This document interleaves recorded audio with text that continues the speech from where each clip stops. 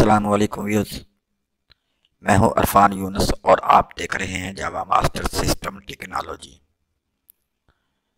आज मैं फिर से हाज़िर हुआ हूँ लेसन नंबर फाइव के साथ। आज की इस वीडियो में हम होम टैब के अंदर, होम टैब के अंदर स्टाइल ब्लॉक का पार्ट पढ़ने वाले हैं। और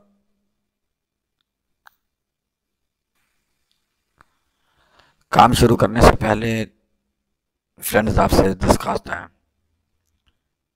कि अगर आप मेरे चैनल पे नए हैं तो मेरे चैनल को सब्सक्राइब करें। अगर आपको ये वीडियो पसंद आती है तो लाइक करें और अनलोन लोगों के साथ शेयर करें। चलो दोस्तों, अपना एम एस वर्ड शुरू करते हैं। जी दोस्तों, ये है एम एस वर्ड और ये हमारी होम टैब है। और इसमें हम ये वाला ब्लॉग पढ़ने वाले हैं। ये वाला हिस्सा। ठीक है। तो उसको शुरू करने से पहले मैं थोड़ा सा टेक्स्ट एडिट कर लेता हूँ।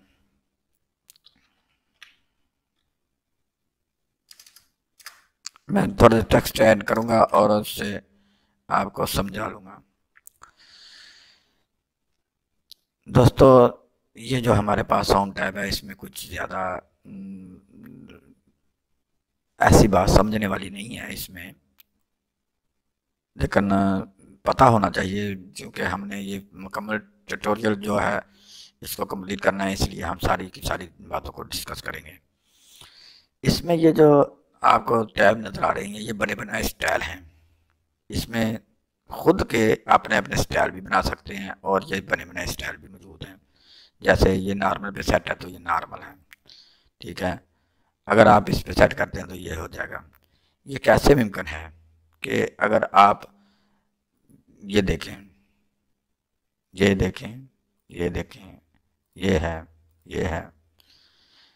ये जो आप कर रहे हैं, इसको सिलेक्ट करने के बगैर भी आप पैराग्राफ एक इंटर तक ये ना, जहाँ पे एक इंटर से लेकर दूसरे इंटर तक के फैसले को ये सिलेक्ट कर लेता है।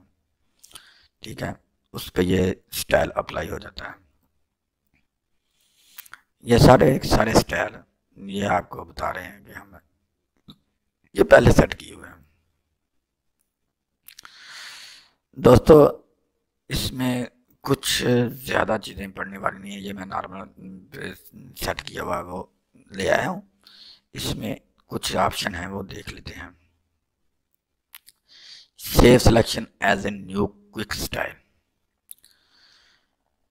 जो भी आपने सिलेक्शन की, उसको सेव करना है तो वो सेव हो जाएगी इससे।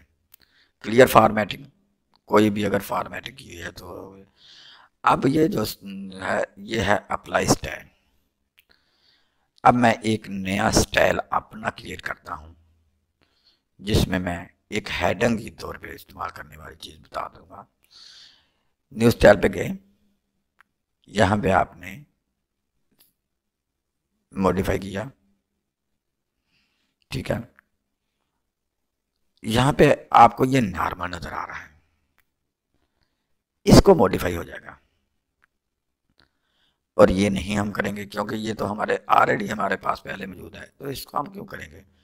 हम न्यू क्यों नहीं लेते? न्यू स्टाइल पे जाएँ। नॉर्मल को छोड़ दें। यहाँ पे आपको मिल जाएगा मैनेज स्टाइल स्टाइल और ये है न्यू स्टाइल यहाँ से क्लिक करें। अब आप अपना एक स्टाइल क्रिएट करें। मैं उसका नाम लिख, रख लेता हूँ। H A D I N G heading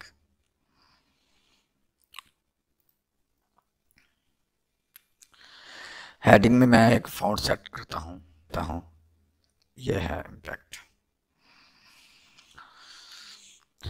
ये मैंने फ़ॉन्ट इस्तेमाल किया। इसका मैं साइज़ कर देता हूँ, बीस। चौबीस कर लें, ये फ़ॉन्ट अच्छा है। कलर इसका मैंने मजंटा कर लेता हूँ। अब आप इसको एटोमेटिक अपडेट पे ले आए। ठीक है? तो यहाँ पे न्यू डॉक्यूमेंट पे आ जाए। फॉर्मेटिंग पे आ जाए। पैराग्राफ में सेट करें पैराग्राफ को। यहाँ पे आपने, अगर पैराग्राफ में कोई लाइन फ़र्स्ट लाइन देनी है तो हमने तो चूँकि हेडिंग इस्तेमाल कर रहे हैं तो इसलिए हम हेडिंग को बतौर सेंटर इस्तेमाल कर सकते हैं राइट हैंड या जहाँ भी मर्ज़ी। आप इसको सेंटर में इस्तेमाल करेंगे। समझाने से मतलब है, अगर ये आफ्टर टेन पॉइंट्स जो छोड़ा हुआ है कि यानी कि इसका मतलब है कि ये टेन पॉइंट तक फासला, ये जो दरमियानी फासला है पैराग्राफ के दरमियान, इसकी बात कर रहे हैं कि ये कितने पॉइंट है। तो आफ्टर हर पैराग्राफ के बाद टेन पॉइंट उसने छोड़ा हुआ ठीक है ये। यहाँ पे रखेंगे। लाइनिंग मल्टीप्लाई में जाके तो एक कर देंगे। ठीक है प्रीव्यू में देखें। आपको ये नज़र आ जाएगा। ठीक है, ये आपको प्रीव्यू में नज़र आ रहा है। इसको हमने ओके कर दिया। ये हमारी हेडिंग जो है मुकम्मल तैयार हो गई है।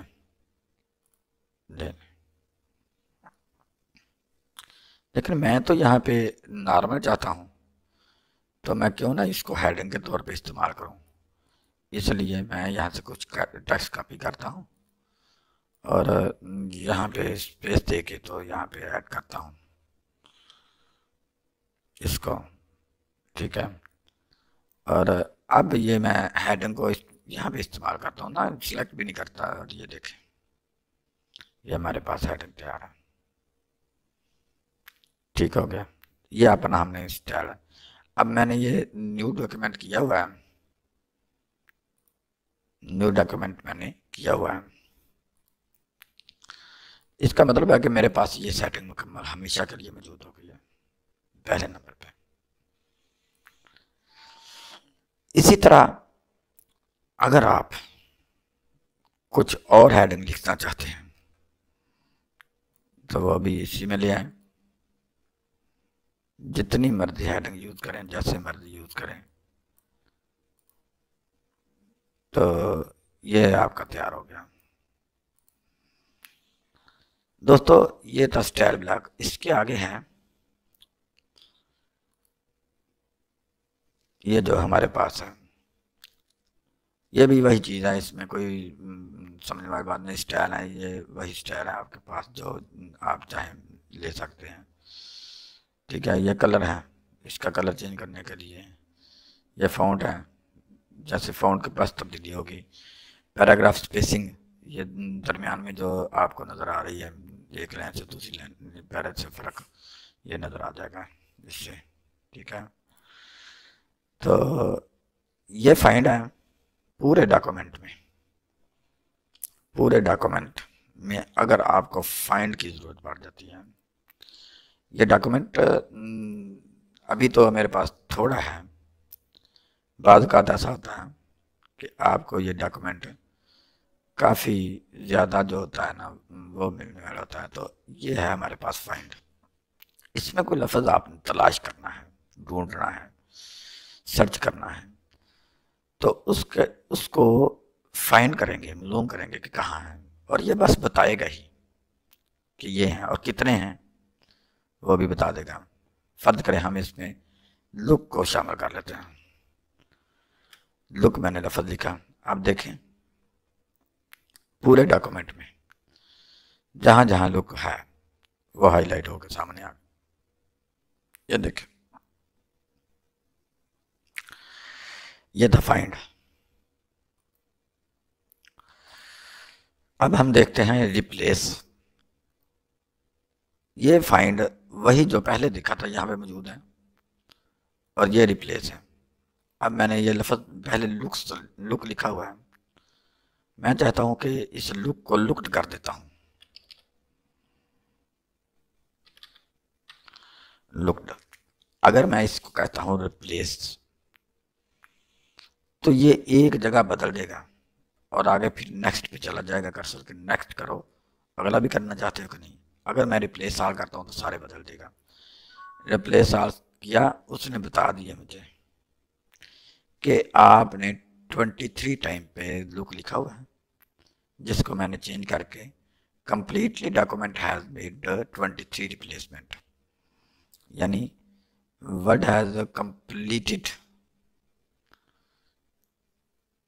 its search of the document and has made twenty three replacement ये इसकी प्रॉपर्टी है। ट्वेंटी थ्री बार है, मैं बस ओके करता हूँ और सारे का सारा लुक्ड हो गया। अब जहाँ जहाँ आपको नज़र आ रहा है, वो लुक नहीं रहा लुकड हो गया।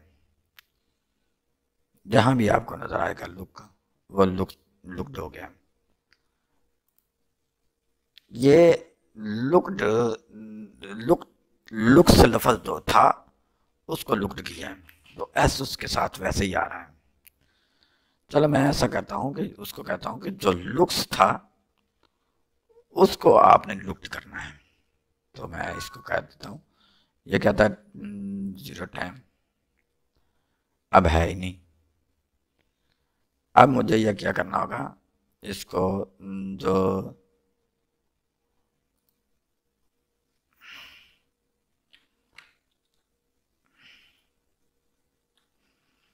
बैक जाता हूँ, इसमें जो लफज लिखा हुआ है, लुक। रिप्लेसमेंट में जाते हैं। ये लुक्स लिखा हुआ है। लुक्स को ख़त्म करेंगे। लुक करते हैं रिप्लेसमेंट करते हैं। और ये हमारे पास लुक आ गया। और रिप्लेस आल कर देता हूँ। ये देखें। यहाँ पे लुक कर दिया। अगर रिप्लेस आल करता हूँ तो सारे लुक कर देगा। ठीक है? लुक्ड। ये इसने चेंज किया कि लुक के साथ लुक ये उसका गलत कर दिया ना उसने, सारे का सारा उसकी ग्रामर है ना इसमें तो इसलिए ये ऐसे कर रहा है। ये था हमारे इसका फाइंड रिप्लेसमेंट और ये सिलेक्ट का मतलब है कंट्रोल आर सिलेक्ट इसकी शॉर्टकट की मैंने आपको बताई हुई है। सिलेक्ट ऑब्जेक्ट है तो इसमें कोई ऑब्जेक्ट कर लें। अगर नहीं है तो ये नहीं करेगा। सिलेक्शन पैनल ये हमारे पास सिलेक्शन पैनल आ गया। ये देखें। वो साइज़ क्लोज ठीक है? ये सिलेक्शन पैनल है कि कहाँ तक कैसे करना चाहते हैं। और ये थी हमारे पास इतनी जानकारी इसके बारे में। उम्मीद करता हूँ कि आपको इसकी मुकम्मल समझ आ गई होगी। और आप इसके बारे में समझ गए होंगे। और इस तरह ये हमारा होम टाइम मुकम्मल हुआ। इन ताला अगली वीडियो में हाजिर होगा अनसल्ट टैब के साथ और तब तक के लिए आप इजाज़त दीजिए। खुदा हाफिज़।